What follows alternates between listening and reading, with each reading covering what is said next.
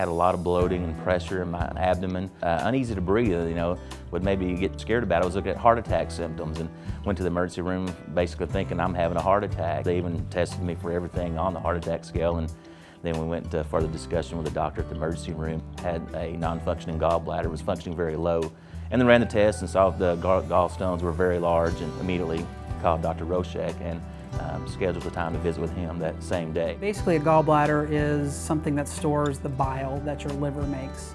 Um, the bile that your liver makes is what helps digest fat after you eat your hamburger, your fries, whatever it may be.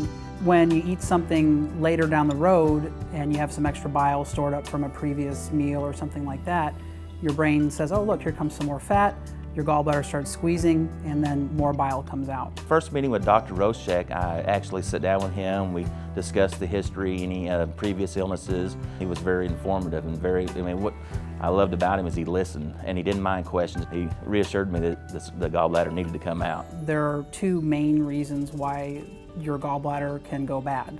One is that you develop what's called gallstones. Gallstones are little literally stones that form in your gallbladder. And unfortunately, these stones can end up traveling out of your gallbladder and going into the main duct.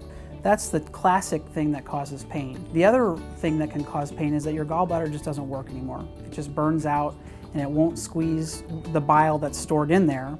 And actually, it hurts when that happens too. The actual surgery, he said, he told me that it would be laparoscopic. Recovery, he just said that um, after the surgery, I always constantly be walking, help you know, the fear of blood clots if you're just laying around. Just get the exercise of soreness out, and that's exactly what I did. Once the gallbladder is gone, the main duct that carries the bile from the liver to the intestine will actually dilate slightly, and the duct will become the new gallbladder. When you have your gallbladder and it's not working, we tell patients not to eat foods with fat. We try to minimize your fat intake so that your gallbladder isn't squeezing so often, causing the pain.